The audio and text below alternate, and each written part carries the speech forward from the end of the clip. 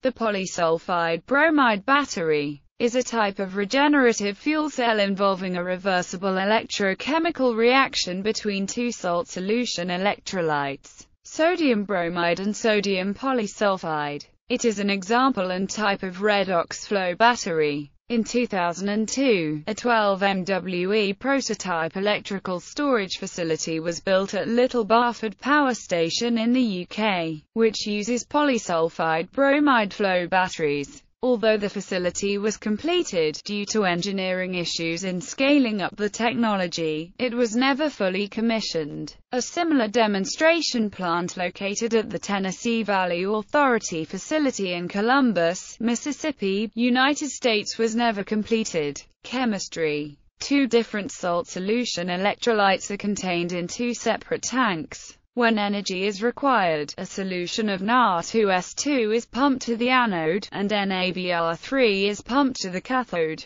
The anode and cathode, and their corresponding salt solutions, are separated by an ion exchange membrane. At the negative electrode, the anodic reaction is shown as 2 Na 2S 2 Na 2S4 plus 2 Na plus plus 2E minus at the positive electrode, the cathodic reaction is shown as NaBr3 plus 2 Na plus plus 2E minus 3 NaBr as energy is drawn from the system, the sodium disulfide becomes sodium polysulfide, and the sodium tribromide becomes sodium bromide. This reaction can be reversed when a current is supplied to the electrodes, and the system chemical salts are recharged. The system is defined as a fuel cell because the electrodes are not consumed by the reaction, they act only as a surface for the reaction. However, nor is the liquid a fuel that is consumed. It is a salt solution electrolyte that is changed by the process.